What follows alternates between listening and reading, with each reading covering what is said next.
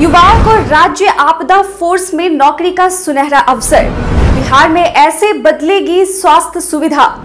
यह जिला बनेगा टाइल्स इंडस्ट्री का हब। रेलवे एक बार फिर से यह सुविधा करने जा रहा है बहाल। सौरभ गांगुली ने बताया, उन्होंने विराट को कोई सलाह क्यों नहीं दी? अब चलिए बढ़ते हैं शाम तक की बड़ी खबरों की ओर विस्तार से। बिहार में ऐसे बदलेगी स्वास्थ्य सुविधा, बिहार की स्वास्थ्य व्यवस्था की तस्वीर अब बदलने वाली है। वो ऐसे कि अब बिहार के सभी जिला अस्पतालों में मरीजों को अस्पताल की व्यवस्था और वहाँ उपलब्ध सुविधाओं आदि की जानकारी देने के लिए डिजिटल डिस्प्ले बोर्ड लगेंगे। अस्पतालों की दशा में सुधार के क्रम में इस बोर्ड को लगाए जाने का निर्णय लिया गया है। स्वास्थ्य विभाग के इस निर्णय पर हाल ही में उप मुख्यमंत्री सह स्वास्थ्य मंत्री तेजस्वी प्रसाद यादव द्वारा राज्य स्तरीय समीक्षा बैठक में दिए गए निर्देशों का असर दिखने लगा है। इसके लिए स्वास्थ्य विभाग के आला अधिकारियों को 60 दिनों की मोहलत दी गई है। युवाओं को राज्य आपदा फोर्स में नौकरी का सुनहरा अवसर। बिहार के युवाओं के लिए रोज़गार का सुनहरा अवसर है। बिहार में आपदाओं से होने वाले क्षति को देखते हुए बिहार सरकार के गृह विभाग ने एसडीआरएफ यानी स्टेट डिजास्टर रिस्पांस फोर्स में प्रतिनियुक्ति के लिए बिहार विशेष सशस्त्र पुलिस के तीन सौ तिरानवे अतिरिक्त पदों के सृजन की स्वीकृति दी है। इनमें 20 निरीक्षक, पचहत्तर अवर निरीक्षक, उनसठ हेड कांस्टेबल यानी ग्राउंड ड्यूटी या रेडियो ऑपरेटर 14 हेड कांस्टेबल, वाहन सह मोटर बोट चालक और 225 कांस्टेबल के पद शामिल हैं। इन पदों पर स्वीकृत पुलिस कर्मियों को डीजीपी के स्तर से विभिन्न वाहिनियों में वितरित किया जाएगा। इसके अलावा प्रावधान के अनुरूप एसडीआरएफ में प्रतिनियुक्ति की जाएगी। बीएड में एडमिशन के लिए थर्ड मेरिट लिस्ट होगी जारी। बीएड में एडमिशन के लिए अब ललित नारायण मिथिला विश्वविद्यालय दरभंगा की ओर से थर्ड मेरिट लिस्ट भी जारी की जाएगी। खाली सीटों पर नामांकन के लिए 12 सितंबर को www.bihar C E T B E D L N M U dot in पर मेरिट लिस्ट जारी कर दी जाएगी। प्रथम व द्वितीय काउंसलिंग में, जिन्हें कॉलेज आवंटित नहीं किया गया था, वे अभ्यर्थी 13 और 14 सितंबर को अपने कॉलेज की वरीयता का पुनः चयन कर सकते हैं। विद्यार्थी यहाँ अधिकतम 12 कॉलेजों का चयन कर सकते हैं। रजनी राय का बिहार कबड्डी टीम में हुआ चयन। बिहार में प्रतिभाओं की कमी नहीं है। आए दिन कोई ना कोई प्रतिभावान युवा और युवती अपने गाँव ज़िले से निकलकर बिहार का नाम रोशन करते हैं। उन्हीं में से एक बनी है रजनी राय, जो अब कबड्डी में बिहार की तरफ़ से राष्ट्रीय स्तर पर खेलेंगी। इस दौरान बिहार कबड्डी टीम का हिस्सा बनने के बाद राष्ट्रीय खिलाड़ी रजनी राय पहली बार अपने गृह जिला सिवान पहुँची। यहाँ उनका ढोल नगाड़ों और बैंड बाजा के साथ भव्य स्वागत हुआ, जिसके बाद वो अपने अपने पैतृक गाँव जीरादेई के शंकरपुर गाँव पहुँची। यहाँ ग्रामीणों ने जमकर आतिशबाजी की और माला पहनाकर उनको पूरे गाँव में घुमाया। राष्ट्रीय कबड्डी खिलाड़ी रजनी राय के लिए यहाँ सम्मान समारोह का भी आयोजन किया गया था।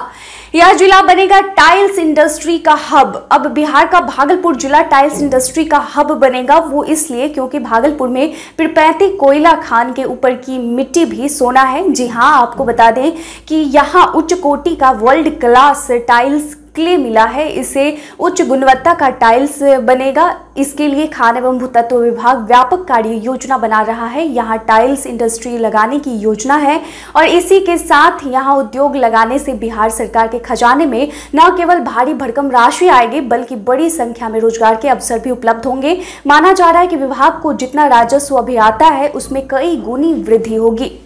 रेलवे एक बार फिर से यह सुविधा करने जा रहा है बहाल। भारतीय रेलवे ने कोरोना काल में एसी बोगियों में कंबल और चादर मुहैया करने की सुविधा पर रोक लगा दी। हालाँकि रेलवे यह सुविधा दोबारा मुहैया कराने जा रही है। आपको बता दें कि आगामी 20 तारीख से एसी थ्री इकोनॉमी कोचो युक्त ट्रेनों में यात्रियों को कंबल और चादर मिलेगा। इसे लेकर भारतीय रेल ने तैयारी शुरू कर दी है। रक्सौल से खुलने वाली सद्भावना एक्सप्रेस सहित अन्य ट्रेनों में यह सुविधा लागू होगी। इकोनॉमी कोच के यात्रियों को भी उसी तरह बेड लिनन का एक सेट मिलेगा, जैसे एसी थ्री या एसी टू के यात्रियों को मिलता है। हालाँकि अभी यह तय नहीं हुआ है कि यह सुविधा फ्री में मिलेगी या चार्जेबल होगी। मुख्यमंत्री का आदेश, थानों का लैंडलाइन, फ़ोन हर हालत में रहे चालू। मुख्यमंत्री नीतीश कुमार ने बीते दिन विधि व्यवस्था को लेकर उच्च स्तरीय समीक्षा बैठक की। इस दौरान मुख्यमंत्री ने अफसरों को साफ़ हिदायत दी कि अपराध नियंत्रण में किसी तरह की कोताही नहीं होनी चाहिए। उन्होंने बैठक में मौजूद आला अधिकारियों को यह निर्देश दिया कि अपराधियों को सजा दिलाए जाने को लेकर स्पीडी ट्रायल में तेज़ी लाएँ, अपराध अनुसंधान का काम स समय पूरा करें। साथ ही मुख्यमंत्री ने अपने आदेश में कहा कि हर हाल में थाने का लैंडलाइन चालू रहे इसका इंतज़ाम करवाया जाए। बिहार के युवा क्रिकेटरों को मिलेगा हुनर दिखाने का मौका। क्रिकेट के शौकीन युवाओं के लिए अच्छी खबर है। राजधानी पटना में अंडर 19 क्रिकेट का ट्रायल 13 सितंबर से शुरू होने वाला है। इस दौरान उभरते खिलाड़ी अपने हुनर की झलक दिखा सकेंगे। Patna district cricket association PDCA की एड हॉक कमेटी 13 सितंबर से शाखा ग्राउंड में 19 साल से कम उम्र के क्रिकेटरों का ट्रायल करेगी। ज़िले के क्रिकेट खिलाड़ियों को राज्य एवं राष्ट्रीय स्तर पर हुनर दिखाने का मौका मिलेगा। आपको बता दें कि पीडीसीए की एडहॉक कमेटी के चेयरमैन रवि किरण के अलावा चार सदस्यों की टीम को पटना में क्रिकेट की गतिविधियों को संचालित करने की जिम्मेवारी मिली है। यह ट्रायल राजेंद्र नगर के रोड नंबर सात के पास स्थित शाखा ग्राउंड में होगा। तेरह सितंबर सुबह नौ बजे से अंडर 19 ट्रायल शुरू हो जाएगा। दारोगा को अपने ही थाने में खानी पड़ी हवालात की हवा।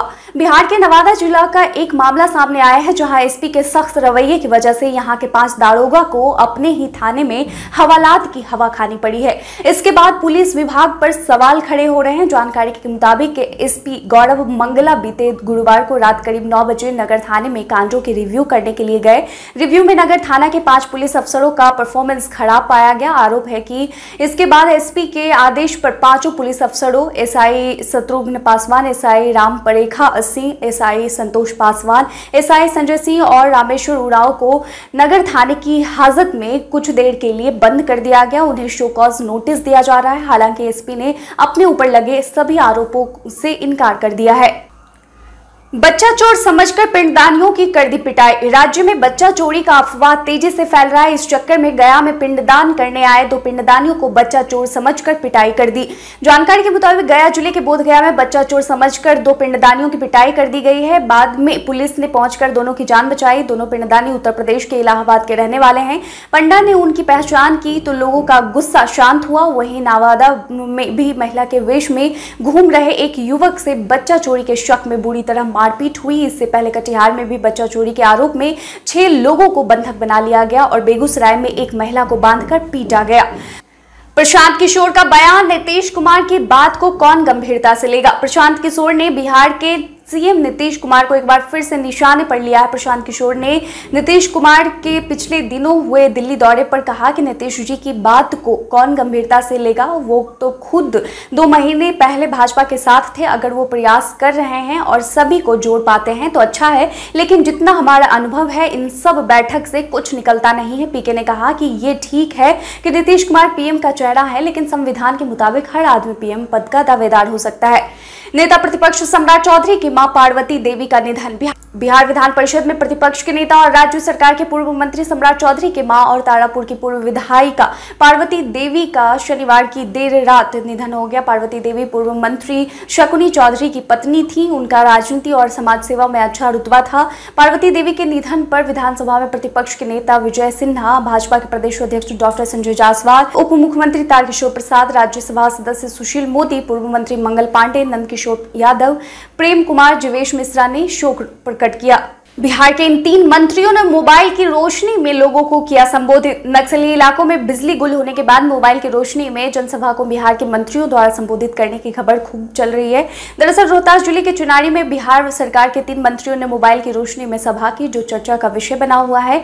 यह क्षेत्र नक्सल प्रभावित क्षेत्रों में शामिल है। चुनारी के स्थानीय कांग्रेस विधायक तथा बिहार सरकार में पंचायती राज मंत्री मुरारी प्रसाद गौतम, पिछड़ा अति पिछड़ा कल्याण मंत्री अनिता देवी तथा अल्पसंख्यक कल्याण मंत्री जवा खान ने मोबाइल की रोशनी में सभा को संबोधित किया। बता दें कि पूरा इलाका नक्सल प्रभावित रहा है और यह इलाका कैमूर पहाड़ी का तलहटी का क्षेत्र है। ऐसे में सुरक्षा को लेकर यहाँ सवाल उठ रहे हैं। सौरभ गांगुली ने बताया, उन्हें विराट को कोई सलाह क्यों नहीं दी? एशिया कप में दो अर्धशतक और अपने पहले टी ट्वेंटी शतक के साथ वापसी करने से पहले विराट कोहली एक लंबे, कठिन समय से गुजर रहे थे। इसी वजह से उन्हें अगले महीने शुरू होने वाले टी ट्वेंटी वर्ल्ड कप के मद्देनजर सवालों के घेरे में देखा जा रहा था। लेकिन अब कहानी पूरी तरह से बदल चुकी है। इस बीच अब बीसीसीआई अध्यक्ष सौरभ गांगुली से जब पूछा गया कि क्या उन्होंने इस दौरान कोहली को कोई सलाह दी तो उन्होंने कहा कि वह ऐसा नहीं कर सकते, क्योंकि उन्हें शायद ही कभी भी ऐसा स्टार बल्लेबाज देखने को मिलता है। गांगुली ने कहा कि टीम बहुत यात्रा करती है, मुझे उनसे मिलने का समय नहीं मिलता। उन्होंने कहा कि मैं उनसे उतना नहीं मिल पाता, मैं बीसीसीआई का अध्यक्ष हूँ, लेकिन वे लोग हमेशा यात्रा करते रहते हैं, वह हर समय सफ़र पर रहते हैं, इसलिए आपके पास उन्हें ज़्यादा देखने का मौका नहीं मिलता है। देश भर में आए दस हज़ार से कम कोरोना के मामले। केंद्रीय स्वास्थ्य मंत्रालय द्वारा आज यानी रविवार को जारी किए गए कोरोना रिपोर्ट के अनुसार पिछले 24 घंटे में कुल कोविड 19 के पाँच हज़ार छिहत्तर नए मामले सामने आए हैं। वहीं बिहार की बात करें तो यहाँ बीते दिन जारी किए गए। पिछले 24 घंटों के आंकड़ों के अनुसार कोरोना संक्रमण के मामले में मामूली कमी आई है। जिसके बाद राज्य भर में कुल अंठानवे कोरोना के नए मरीज़ मिले हैं। वहीं राजधानी पटना की बात करें तो यहाँ सबसे अधिक अड़तालीस नए मामले सामने आए हैं।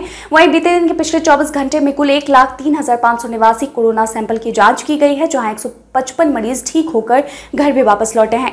बीते दिन हमारे द्वारा पूछे गए सवाल का आप लोगों में से बहुत लोगों ने अपना जवाब में कमेंट सेक्शन में लिखकर दिया था, जिन्होंने पूछे गए सवाल का जवाब दिया है। उनके नाम है सुनील कुमार, मृत्युंजय कुमार, राजकुमार प्रसाद राम प्रकाश कुमार, राजेश कुमार, पवन सिंह, रामशंकर सिंह, मदन कुमार, सतीश कुमार और मेसम रेजा।